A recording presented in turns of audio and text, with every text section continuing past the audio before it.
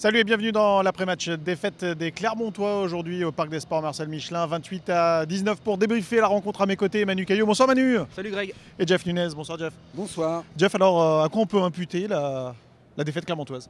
Ah bah, Je pense que les Clermontois sont, sont tombés clairement sur un adversaire hyper puissant, hyper bien organisé, hyper réaliste, hyper opportuniste. Et puis ils ont surtout eu eux, de leur côté, un déficit en termes d'agressivité sur les zones de ruck, sur les premiers plaquages. Ils ont été pris sur cette zone-là et c'est ce qui les a fait jouer, non pas en avançant, mais en reculant.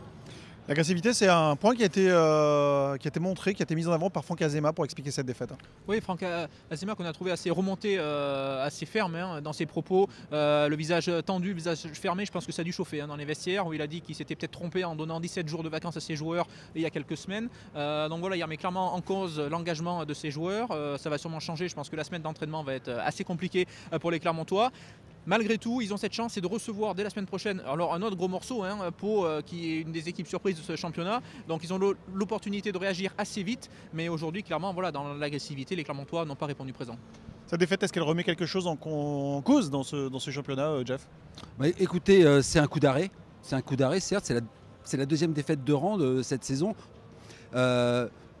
remettre quelque chose en cause dans le jeu, je ne pense pas, parce que, comme le disait Alexandre Lapendry, on ne va pas jeter le, bébé avec l'eau du bain. C'est pas parce qu'on a failli aujourd'hui qu'on a failli sur la durée. Non, non. Il y a eu des choses très très bien pendant de très très très longs mois. Aujourd'hui, il y a un déficit en termes d'agressivité. Il est clair et net, il est identifié. C'est pas un problème de talent, c'est un problème, un problème de comportement. Je pense qu'il faut régler ce problème-là et après tout le reste rentrera dans l'ordre.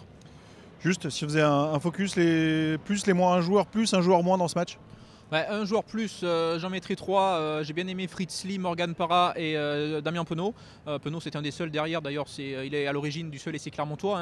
Hein. en revanche, les moins, Aben Danone, qui se trouve sur le premier essai, qui voilà, il a fait des erreurs sous une chandelle, il se loupe et ça amène un autre essai, le quatrième essai Montpellierin aussi. Vraiment, il passe à côté aujourd'hui. Et Stéphane Brett, Brett. alors jusqu'à présent, quand l'équipe avançait, on le voyait, il était plutôt correct. Aujourd'hui, voilà, dans un match compliqué euh, il a souffert et son jeu au pied a, clairement été mauvais. Euh, une, chandelle mal sentie, des pénales touches très courtes. Voilà, euh, je pense que Nick Bendanon et, Stephen Brett, c'est vraiment les deux joueurs qui sont passés le plus à côté aujourd'hui côté Clermontois.